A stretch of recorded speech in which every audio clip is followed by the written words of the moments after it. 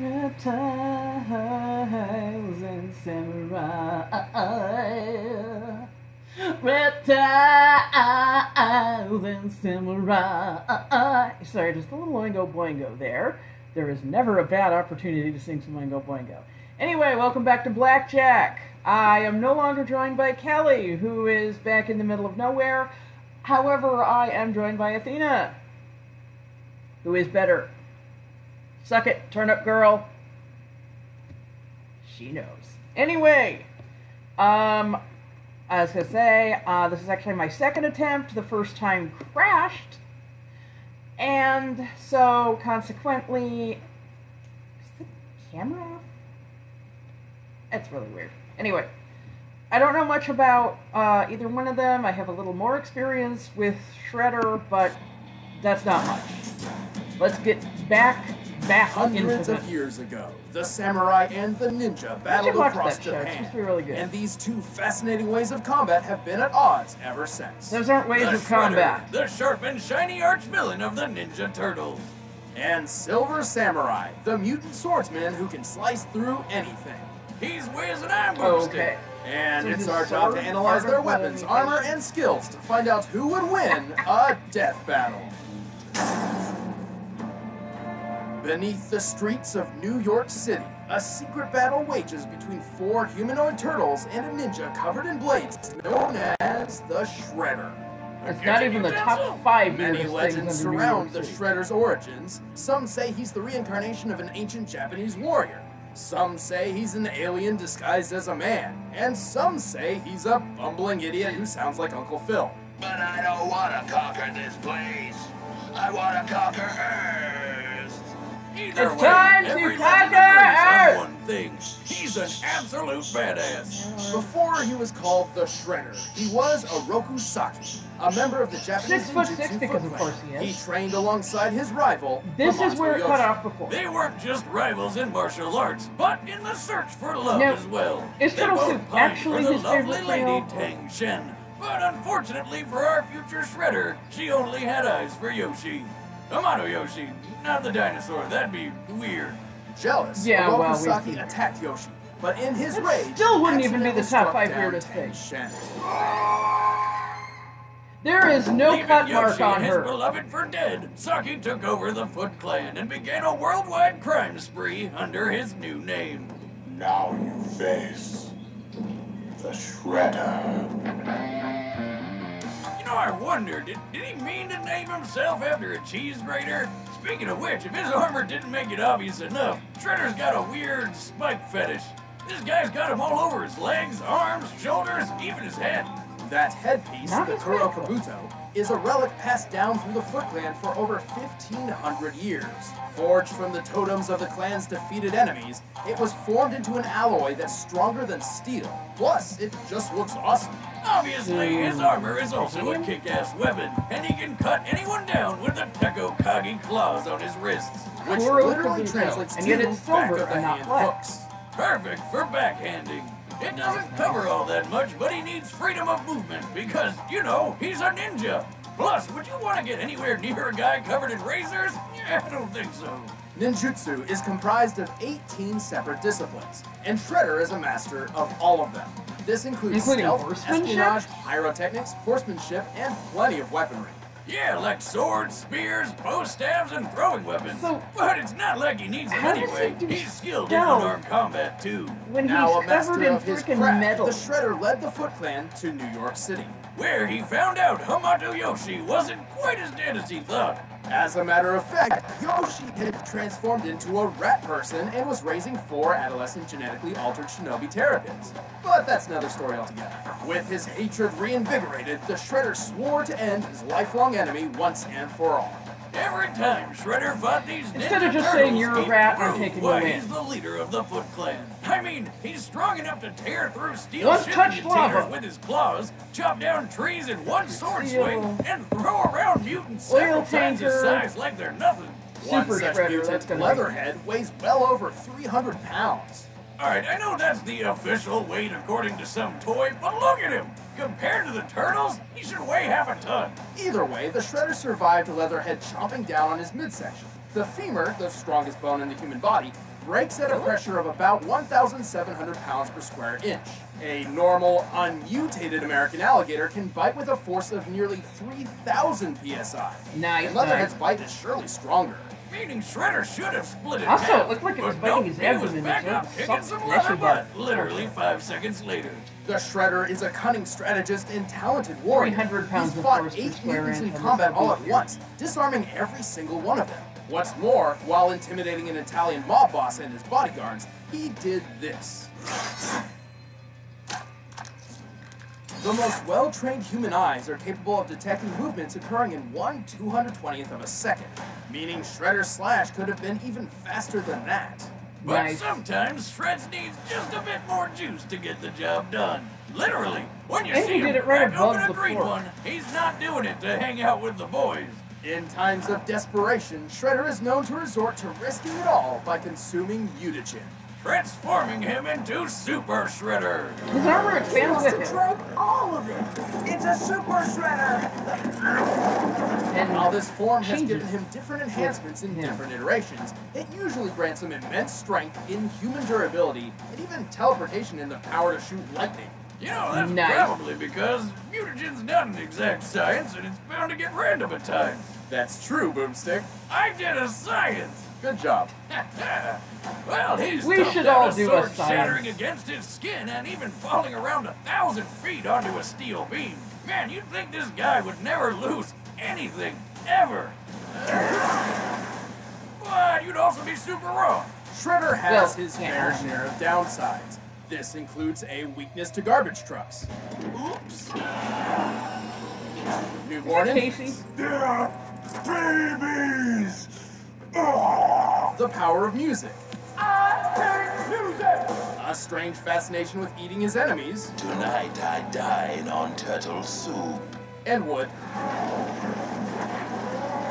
Jeez, were the 90s always this stupid? Yeah. Thankfully, despite his failures, the Shredder keeps getting back up. Faster, stronger, and much more terrifying. There we go.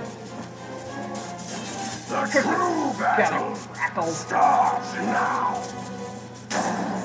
Nothing. In feudal Japan, a samurai wasn't your typical bodyguard. He was trained in the art of war and would only serve the elite upper class.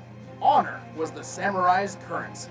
But for the Silver Samurai, Kenuichio Harada, That currency right. was just regular money, because that shit's useful. Yeah. Born into the Yashida clan, Also Harada six son foot of a six. How the hell do these crime people get so tall? Unfortunately, he could never inherit his father's empire for himself because he was born illegitimately. A bastard.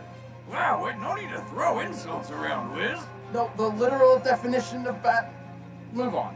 Wiz's judgment aside, without a clear future, Well, he's probably that kind of decided bastard, too, to, I well, become a samurai, because why not? You're pretty cool, right? Unfortunately, the way of the samurai no longer had a place in the present. Harada knew that in a world full of absurd superpowers, he would need to dedicate his life to the art in a Hi, way Logan. never seen before. He wouldn't just be a samurai, he'd be a silver samurai. Bum bum bum. Yep. Well, blinged out like Xzibit's rims, he picked up on a few fighting styles. Not too many. Just Bajutsu, the art of horseback, Bujutsu, military strategy, Iaijutsu, the sword-based quick draw, Tanto Jutsu, knife fighting, Ninjutsu, being sneaky, Kyujutsu, which is archery, and, well, Jujutsu and Karate Do, which are both forms of unarmed combat. God, how many more jutsus do you think you can fit in his brain? I didn't even know there were that many. At least one more, Kenjutsu, the art of Japanese sword fighting. After all, what's a Didn't I already samurai without a katana at his side? Yeah, that's what. In order to keep living, he had to get really good with swinging that sword. Luckily There for were Harada, samurai he soon learned used he had weapons. one of those absurd superpowers for himself. Yep, Archery is he's a a one. mutant. Now who's being insensitive? Harada has the ability to generate a tachyon field. With it, he can enhance his sword, allowing it to slice through almost anything. Even hmm. ghosts! In real life, tachyonic fields are hypothetical particles with mass, which travel Alright then. faster than light. A definition which may explain hmm. how Harada's cutting ability works. So, So, yes, he definitely uses power theoretical on sharp objects. Well, that's too bad for everybody in Silver Samurai's way, because he carries a lot of them. He's got throwing knives and shuriken Dragged out ninja along stars ground, on hand really? for long-range attacks. And of course, he always carries that katana. He's wielded many different swords, including the legendary Muramasa blade. However, he's not too picky about what kind of sword he carries. He's just With dragging it around on the power, any ground. blade Harada carries instantly I yeah, I get that one it's of the most dangerous but- swords on the planet. Harada has one more trick up his sleeve, a teleportation ring. With it, he can warp around the battlefield for unexpected strikes, and it makes No for a good biting. getaway. Though we almost lost it once to John Belushi. You know, the guy from Saturday Night Live? Jocelyn told me about it once. It was weird. After years of hard work, Harada was truly a masterful warrior. However, he still struggled to defeat one What Gaijin opponent. is mine? The Are you a Wolverine. Gaijin Who since killed his America? dad and got engaged to his sister. Ah, the shame combo. Oh, and she was next in line to rule the Yashida clan. Man, a triple. Needless to say, a little myth, Harada challenged his own sister for the right to run the clan. And he won! After she was poisoned by an unrelated third party. Sometimes Okay. life just works out with. I Is guess a win's blowfish a win, toxin, is and that that what I wouldn't be his last one. He's incredibly deadly in battle. He's so fast he deflects bullets with his sword, and once even sliced a speeding bullet completely in half. In this instance, the gunman was standing 15 feet away when he fired the bullet at approximately 1,400 feet per second. This means that Silver Samurai was able to reach for his sword faster. and accurately cleave the bullet in two in just over one hundredth of a second. Even if he didn't chop it in half, his He's armor is totally considerably bulletproof. faster. Shoot, it even let him survive a friggin' building falling on top of him. But without his armor, he's survived Blessed taking the sword Amaterasu, and then he can meet her later and in getting Marvel's run over by a car from the f***ing Jetsons. He's no slouch on the battlefield either. He's knocked Spider-Man unconscious, shaken off hits from Cannonball, and even defeated Spider-Woman in combat. At one point, he was dogpiled by Daredevil, She-Devil, along with a cheetah and a panther, together likely weighing over 600 pounds in total. And he threw them all off in one big push.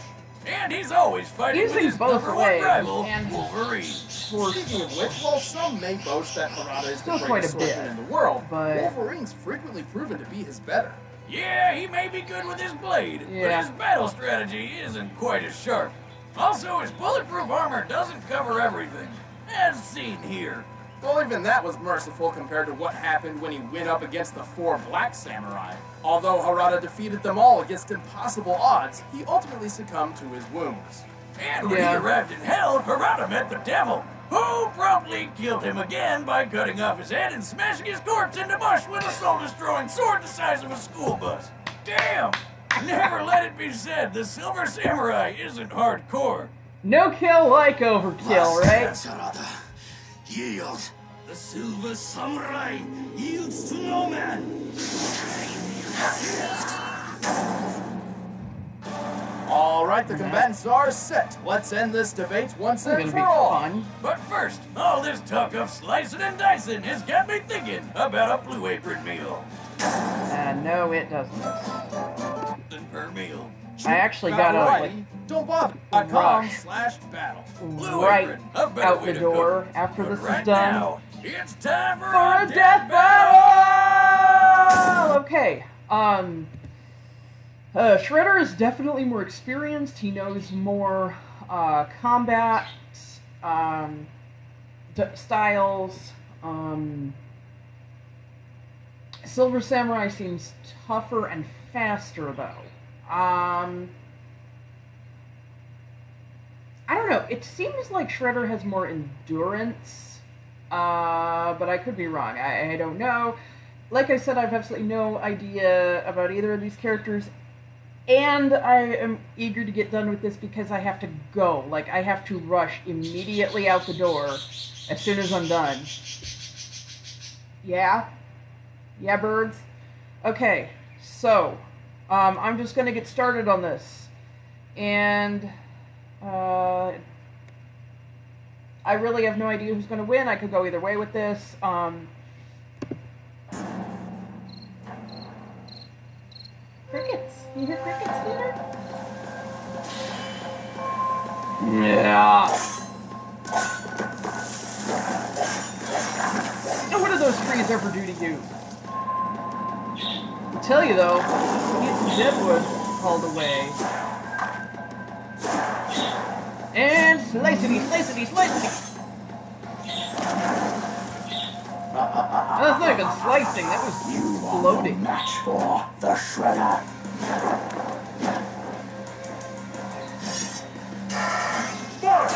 Yeah!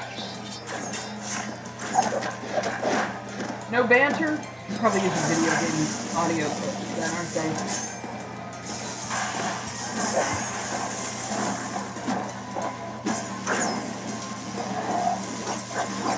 Holding it straight out in front of you cannot be good. Arms were made a target for. Really? Really? Is where you're gonna play me?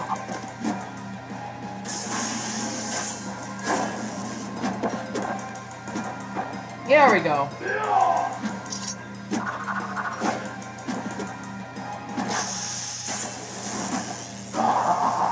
Just realized, Shredder's the only one with a transformation.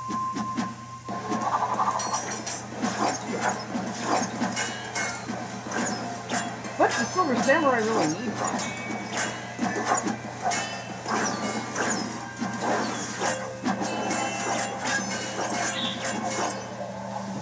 Trying to do Hell's Gate there for a second, huh?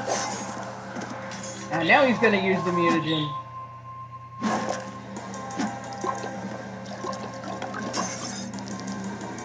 He didn't even drink it, he just poured it on himself. Yeah, victory pose right there, huh?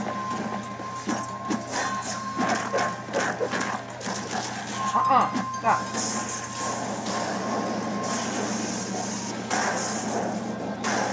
Did he just slice lightning? Or did he just channel lightning? He just cut off his freaking arm.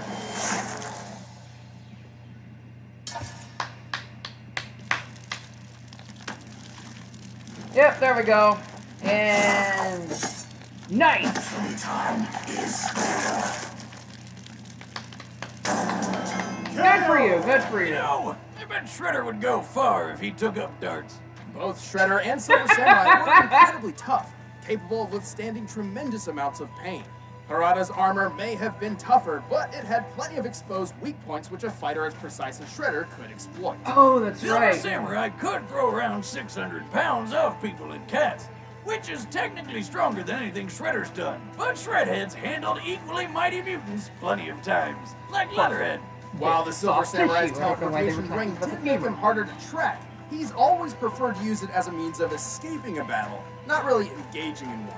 Even when Oh. he did oh. use it during combat, his moves were often predicted by more experienced opponents. This guy likes to come at me from behind.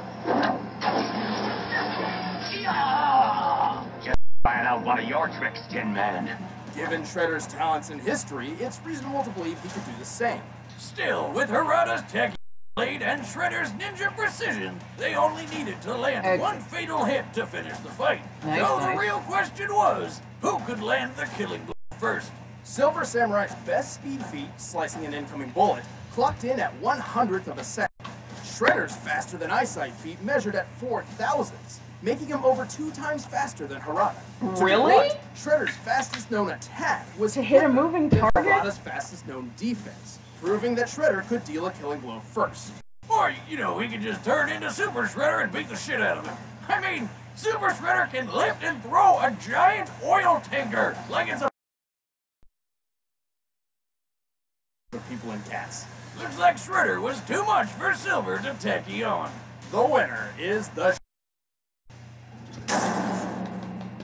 Stick around, we're about to announce the Give us a good one. the Give us a good one. And if you want to watch exclusive commentary on this episode, click that over there and start a first membership trial.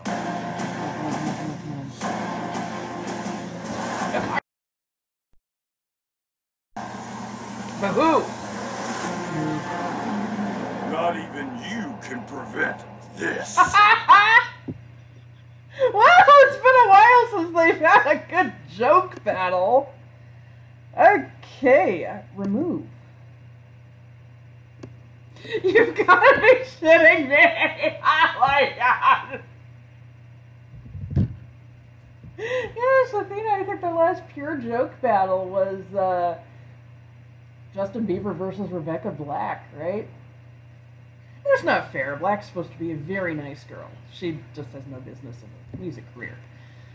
But, uh, yeah, I gotta go. I really don't have many thoughts on the battle. Next time, I knew there had to be some weird reason that they were giving us the voice actors. But holy shit.